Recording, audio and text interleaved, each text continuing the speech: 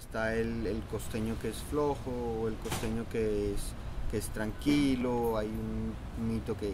todas son hamacas, que el, costeño necesita su hora de almuerzo y después del almuerzo para echarse su siesta. La costa tiende a ser muy tradicionalista, entonces en cuestión de, familias, pues,